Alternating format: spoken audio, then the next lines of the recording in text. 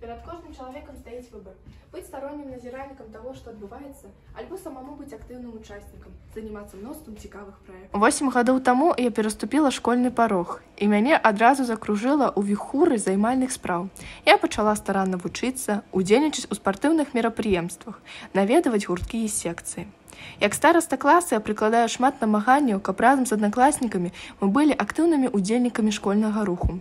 Сярод разнастайных спраў больш за ўсё мяне зацікавілі заняткі па валейболе і школа лідараў ад БРПА. Я з'яўляюсь членам дзіцячай палаты мінскага абласнога савета піянерскай арганізацыі. Асаблівае месца сярод маіх захапленняў займае краязнаўства. Гісторыка-культурная спадчына нашай краіны багатая і непаўторная. Аднак проста любіць сваю радзіму недастаткова. Неабходна ведаць яе гісторыю, культуру. І гэтыя веды павінны быць асэнсаванымі, каб чалавек унутрана адчуваў сваю прыналежнасць да лёсу беларускага народа. Радзіма пачынаецца з любві да таго месца, дзе ты нарадзіўся і жывеш. Я ганаруся сваей малой радзімы і яе спадчыны. Таму з вялікім задавальненнем наведаваю аб'яднанне па інтарэсах вытокі з краязнаўчым ухілам.